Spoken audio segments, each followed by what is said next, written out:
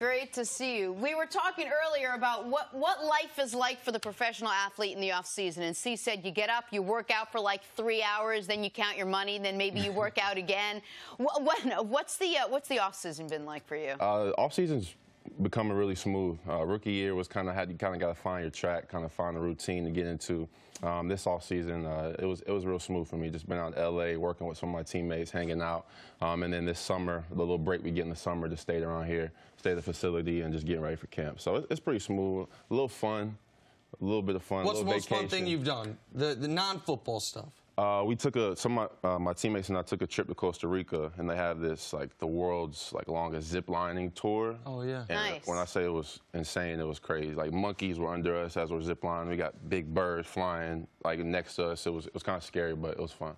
Now the first two years in the league, I, I try to tell people all the time. The experience of playing in the league is even better than what you dreamt of when you got mm -hmm. there.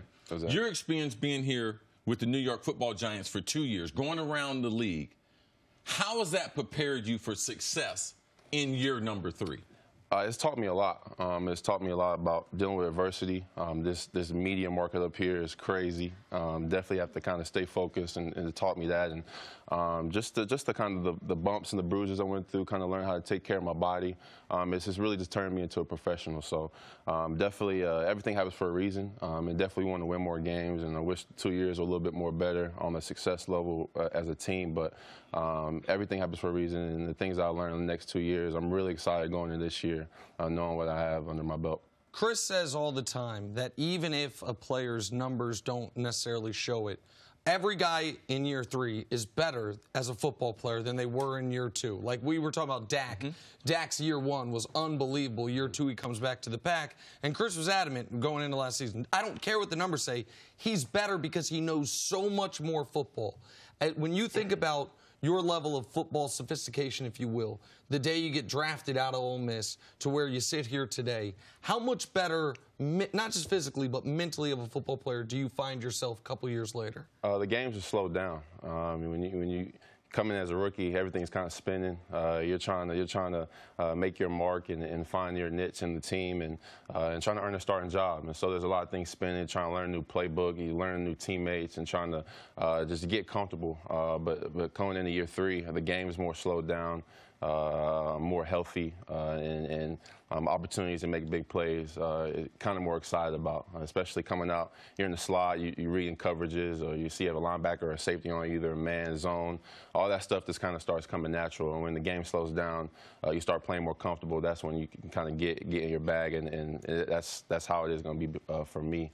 Uh, this game just more slowed down, and it's going to be more fun. Evan, there's some good things and there's some not so great things about playing in New York and on this stage. The great thing is this is the media capital of the world. It's you're in New York City. You get to have fun. You're, the Giants are always highlighted, but the last couple years haven't been such smooth sailing for this mm. Giants team. You had a lot of controversy with whether Eli should still be playing, and then you draft Daniel Jones, and then and then Eli, and then um, rather Odell leaves last year, which I'm sure was a little bit of a surprise. How distracting has and then the record and how you guys have been playing. I'm sure you, uh, you know far underwhelming for the for the, the Giant standards that you usually have. What's the last couple of years been like for you? How have you been able to handle it as a player? Uh, it's you kind of just gotta realize uh, you can, can, only you can only control what, what's in your control, um, and I know that's doing everything I can uh, for my team and doing the most I can to put them in better positions on Sundays um, and, and, lead in the locker room and be, and be better and be a better player for the team. So um, definitely a lot of distractions. You got to kind of block all those out. Um, Which distraction do you think surprised you the most of everything that's happened in the last couple of years? What were you most? We have an ongoing by? debate about the media. Yeah. Now you mentioned it. He went to school at Ole Miss. It ain't like they is a a treasure trove of reporters covering Ole Miss compared to the reporters that cover the Giants. So I could see him being surprised. How much of an adjustment was that coming from SEC, Ole Miss to New York Football Giants? Um, I, th I, think in college, as you said, there wasn't a lot of reporters um, going crazy about what we were doing. Uh, but the thing that kind of had to adjust to was just the everybody's so obsessed with the negativity. Uh, obviously, mm -hmm. uh, I mean, you can kind of tell a difference uh, when, when, we're losing and there's turmoil. Those reporters come in the locker room running, sprinting. ready to ask questions, ready to ready to stir up some drama. So um, it's just it's just you just gotta kind of try to be able to uh, neglect the things that can distract you, um, and just stay focused on uh, doing what you can every single day to be a better player uh, and make your team better. Right. There's a number of people that would say OBJ was a distraction the last couple years. Your experience with him, I believe, is very very different. You and him are friends not only on the field but off the field. Um, I believe when you went to Los Angeles, you probably spent some time with OBJ, not only working out but doing other things. What did you learn from him from a football standpoint, and what did you learn after hearing about him getting traded? Uh, I, I, love having Odell as a teammate. Um, he was, uh, uh, despite all the things in the media, he was great in the locker room. He was great um, as a friend. Uh, he'll always be a brother um, as long as, as, as, as, we stay close. So, um, but the biggest thing I love being his teammate was just watching him every day. Um, the dude's by far one of the best football players I've ever seen. Um, and uh, just watch him every day, whether it's just just catching balls, his releases, uh, the top of his routes. Um, just him as a football player uh, was I had to take advantage of that, um, and it, it, and being his teammate helped my game, and it's helping me develop, and it's helping me become a better football player. Um, and, uh, and, and you know, like I said, those things that happen this off season is out of my control at the end of the day, I'm still a, a, a, New York football giant. I still play for the Giants. So my job is to, to, to to keep working and keep being better and keep growing as a player so that can be better. Did it make, after seeing Odell traded, because it shocked a lot of Giants, yeah. I talked to a few of them, but it also made them, their alert button went up that, man, if he got traded, anything could happen to me. Did you feel that way?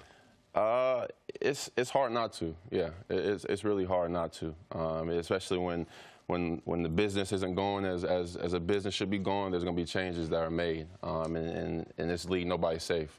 So it's definitely, a, like I said, those distractions are kind of hard to, to, to keep away. Um, but like I said, just got to stay focused and, and, and can worry about what you can control. What do you think of Saquon, his rookie year? Unbelievable. Um, I think the biggest thing with Saquon is obviously he's a special talent, um, and he's, he's a crazy football player, but he's a natural leader. Uh, he's a real natural leader. As soon as he came into the locker room and, and got settled and got comfortable on the field, uh, he was he was motivating guys. He was pushing guys. He pushed me to become better. Um, he's pushing guys on defense. How does better. a guy like that push you to be better? Take me through either words, example. I would say example. I, I think it, it, all comes down to competition. Uh, the more you can compete every single day, um, the more better you're going to be as a player when it's time to play against somebody not on your team. And that's something that he started. He kind of brought to our team that was that was that wasn't that was missing a little bit. Just having those little small competitions, whether it's sprints or whether we're in practice and team periods going against the defense. Uh, when you start getting that dog mentality and you start getting that competition, um, you want to win. Uh, that's going to help us on Sundays. He also, you, you alluded to it. We, we've had him on the show a couple times. He is shockingly polished and poised. Oh, yeah for someone as young as he is. When you saw his rookie class, your rookie class was the one right before his.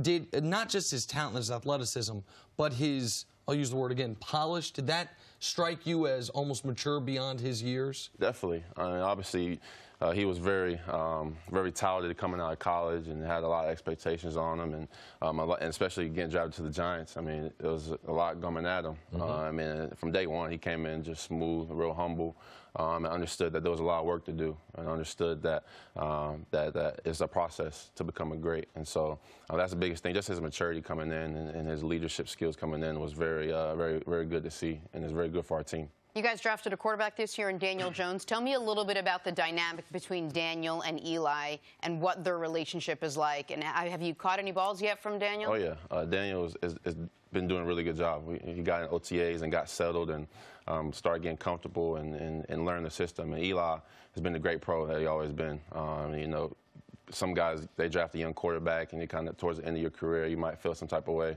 Uh, you can't you can't see that with Eli. He's doing everything he can to help Daniel, and, and at the end of the day, Daniel's pushing him as well, and Daniel's pushing him to be a better player. So it's been really cool to see those guys mesh and, and how they work together in the, in the, quarterback room. And, and Daniel's gonna uh, Eli's gonna make Daniel a lot better, a way better quarterback, and vice versa. So um, it's been cool to see both of them work together and, and, and see Daniel grow uh, the past a couple months he's been here. What is Eli like as a teammate? We see him on the field. People can have their opinions of his level of play, but Eli is an elder statesman and is a guy who obviously obviously has been the face, face of this franchise for almost two decades now. You're you're not quite young enough to be his son, but his nephew at least. Like, what is he like as a teammate for you? Uh, Eli's one of the guys. Uh, he's definitely uh, just a little bit more quieter, uh, uh, more uh, more kind of soft spoken. but he's he's a jokester. He likes putting pranks on guys. He's he got some really lame riddles that he tries to spit out. That he dad tries to spit out. To, yes. Yeah, dad joke. So um, it, it, he's cool to be around. He's just one of the guys. And you would think coming in, I'm thinking like, oh, he's just always to himself, or it'd be hard to talk to. No, he's he's a, he's a great friend and, and a great teammate. One thing I see all the time in the league is guys like yourself, they come in with a great deal of confidence because mm-hmm. you just don't get to this level without having confidence. And then earlier in their career, they either have failure, either, wow, they realize this game is a lot harder. This is a big jump even from the SEC to the NFL. And man, I'm not as good. One of my issues with you, I'm going to tell you this because you're here, your mom's here. When they drafted you, I told Nick Wright, this guy's going to be a star. He's a perfect fit. NFL tight end, prototype right now. Number one is a receiver. Yes, he's a, a, a, capable blocker at the end of the line of scrimmage, but he should catch 70, 80 balls early in his career. He might have a 1,000 yards. That's not your fault. We know the Giants, their offense hadn't had the productivity. Do you believe your expectations are back on par when you got drafted after taking a couple steps of, man, this league is difficult. I got injured. It's not easy because initially you started off to a very hot start. Does that make sense to you? Yeah. Are your expectations back to where they were when you first got drafted? Um, I, I, would say they're a little bit higher. Uh, Great. Uh, I think coming in rookie year, uh, it, it, came it kind of came kind of easy to me um, because I learned the offense quick. We started making plays. We had some injuries on offense uh, that kind of allowed me to have a bigger role in the offense, mm-hmm. and it, it kind of was starting to come easy to me. So going into that rookie offseason, that first offseason, I'm like, oh, this this is a breeze. I'm from I'm from to take off and, and, and do what I do. And year two comes around, and that adversity hit. Some injuries, a couple bad games, another injury.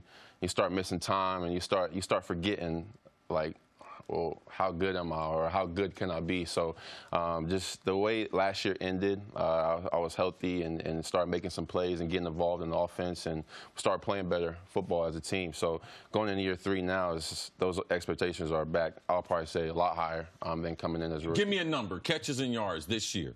If we're at the end of the year, you've had a good year. We know the Giants, they want them to win. Say the old corporate thing, but you personally, give me a catches, yards for you. 80, 1200. Okay, let's do that. We're going to write it down. I like that. That's state. Perfect. Awesome. Best uh, tight ends available in the league. Gronk retired. Go get it.